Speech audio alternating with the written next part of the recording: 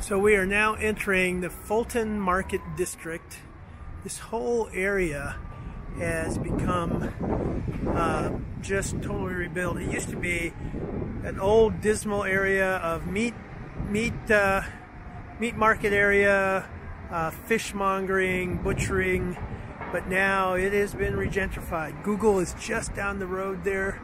Um, and uh, I'm walking by No. I'll come back by here later and hopefully they'll let, let me So in. this is what it looks like when there's nobody around. So this is the day after NeoCon and uh, wow, you know, beautiful view uh, outside and we'll just take a quick walk through here and my gimbal will rotate and show us some of the things going on.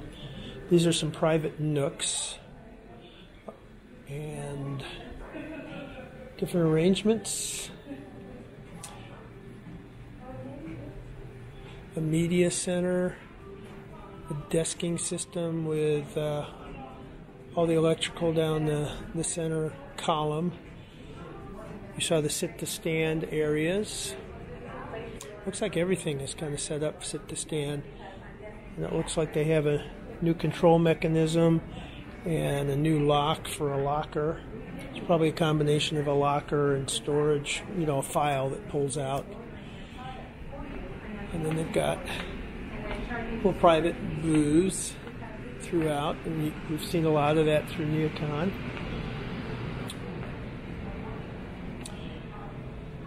Big open table see a little bit of the view. Some of the classic pieces here. A little bit of interest.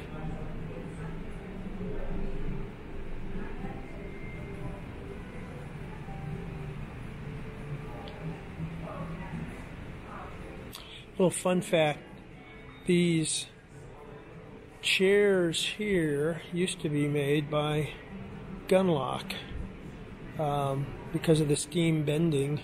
This was a couple decades ago.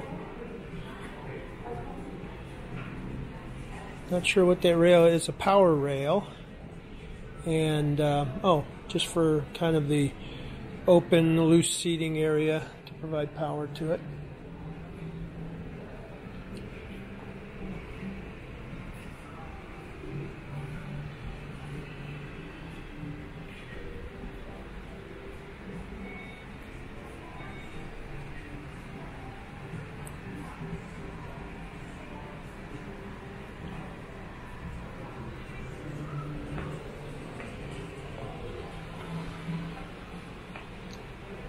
And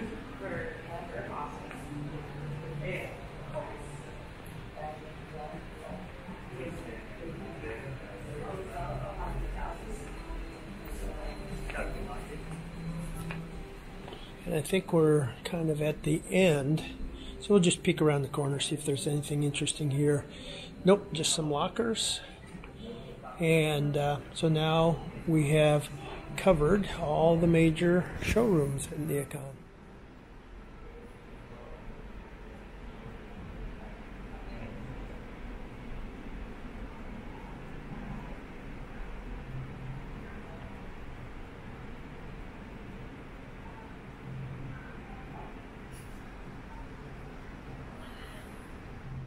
So I did not realize there was a seventh floor, so I was on the sixth floor.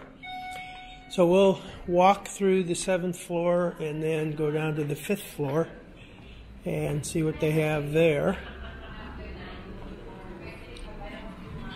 In the private office.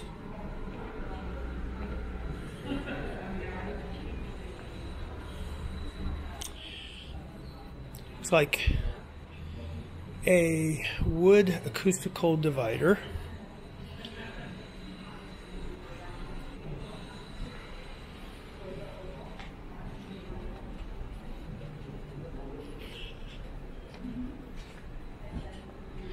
Just a really nice layout. A lot of light, windows, on three sides, an atrium, nice visual display and variety. We'll walk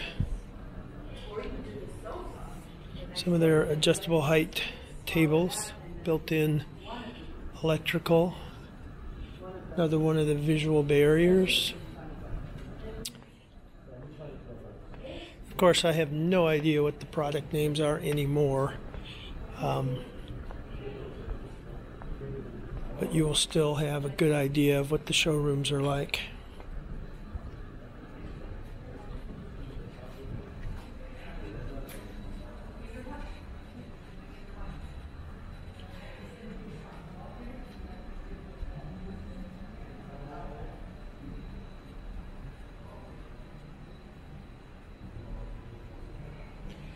Okay, so why don't we go down to the fifth floor now? Okay, this is the fifth floor.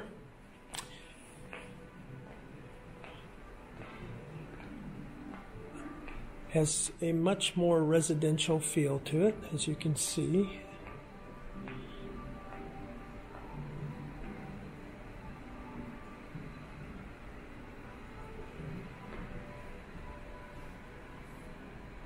Sampling of the chair displays. They even have the names of the chairs there.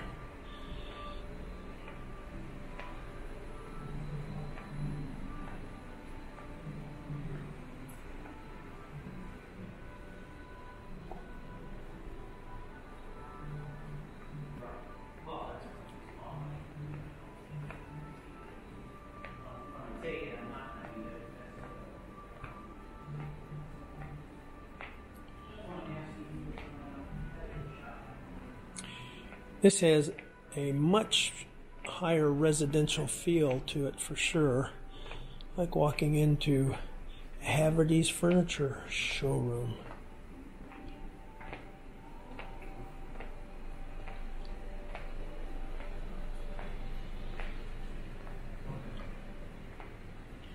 This looks like their education area.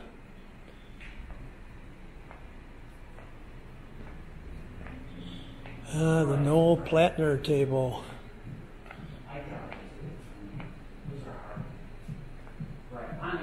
Beautiful. Okay, so we have toured all three floors of Knoll. Isn't it so much better when there's not 10,000 people all trying to see the same thing at the same time? So now you have it, the Knoll showroom.